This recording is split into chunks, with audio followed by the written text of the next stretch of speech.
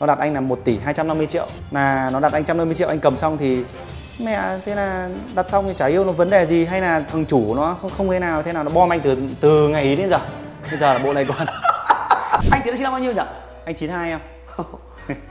Đây rồi anh em ạ. Sinh năm 92 mà nhà cao cửa rộng mà em nói anh em mình là chơi cả một cái bộ bàn ghế gỗ chắc. Khủng như thế này anh em biết là cái chất chơi của à, gia chủ là như thế nào rồi. Nhưng mà đây là chắc cũ hay sửa ngày xưa đấy em bộ này làm phải 8 năm rồi đấy. 8 năm rồi ạ? Ừ. nhưng mà thật là bây giờ em thấy nha bây giờ rất nhiều người ở trên mạng rất hoành tráng kiểu chơi những bộ bàn ghế ờ, gỗ kiểu Nam Phi ấy. Ờ. Thì nó chỉ có khoảng ờ, vừa tiền thôi nhưng mà nó lại rất là khủng Đúng thì rồi. được cái là oách oách. Ờ được cái là oách. Nhưng mà đúng là là là thôi thì với những người mà mà mà chưa chơi gỗ bao giờ mà chơi như thế là kinh rồi. Nhưng Đúng mà rồi.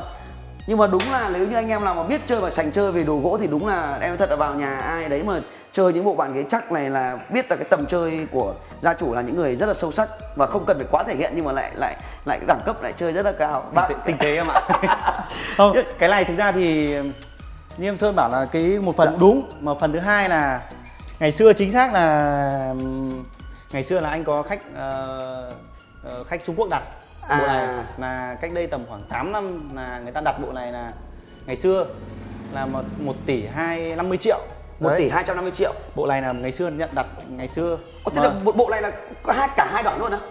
Ừ cả một bộ như này luôn. À cả một bộ to hai bàn hai đoạn luôn. Hai bàn hai đoạn đấy Bốn là ghế. đúng rồi bình thường một bộ 12 món người ta cũng chỉ một đoạn này hay một bàn thôi.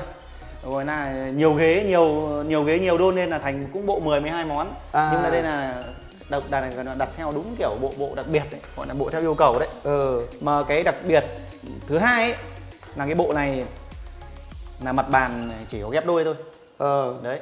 Bình thường anh ờ, đảm bảo với sơn sơn cứ bất kể thị trường sơn kẻ mua cái bộ nào bộ nào thì gần như mặt bàn người ta chỉ cùng lắm là người ta làm ghép 3 đến ghép 4 không bình thường là ghép 4 ghép 5 cái mặt. Nhưng mà cái này là đúng là làm theo đúng yêu cầu là ngày xưa là ghép mặt ván có hai miếng thôi định làm ba miếng khách về phát bảo thay đổi hợp đồng là dỡ tất mặt đi chỉ làm mặt ghép đôi thôi. Ui rồi kinh nhỉ lần lần trước là thằng Quốc nó đặt anh 150 triệu bộ này là anh nhận nó thật lòng với Sơn là anh không không không giấu là bộ này là anh đặt của nó là nó đặt anh là 1 tỷ 250 triệu. Nó đặt anh đúng 150 triệu anh nhớ mãi hồi ấy. Là nó đặt anh 150 triệu anh cầm xong thì mẹ thế là đặt xong thì chả yêu nó vấn đề gì hay là thằng chủ nó không không thế nào thế nào nó bom anh từ từ ngày ý đến giờ. Bây giờ là bộ này còn đây đây để đây để để anh lấy cho em xem cái cái cái hợp đồng ngày xưa vẫn vẫn viết tay ngày xưa thôi không cần không cần không cần, ạ. hôm nay này vì em đến đây ấy là mục đích là là đấy như anh điện cho em ấy Ờ. thì là để em xem cái uh, phôi gỗ xưa của anh À.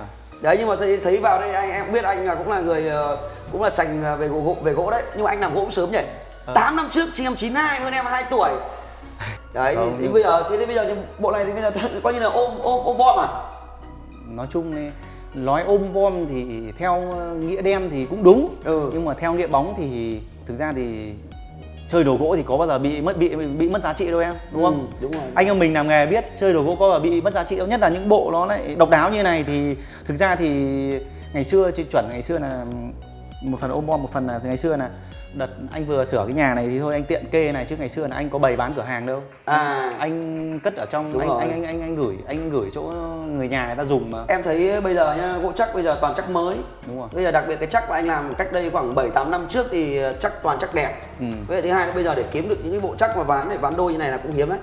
Chứ bây giờ người ta đặt cọc trăm rưỡi rồi mà bây giờ ờ, anh em nào mà có lấy thì bán chắc là trừ đi nhỉ, tính chắc tỷ thôi. Đấy, mười mấy món, bộ này tất tất tất tất bao món? 12 món 12 món à? trăm rưỡi vẫn còn tỷ mốt chứ À à, à ừ nhỉ. Ờ, tỷ ờ, mốt nhưng mà ờ, ờ. nhưng mà cái giá trị lúc đấy với bây giờ nó khác nhau khác gì? nhau nhiều em Bây giờ vàng nó đắt gấp mấy lần rồi đúng nhỉ? rồi đúng rồi chuẩn đấy chuẩn đấy chuẩn đấy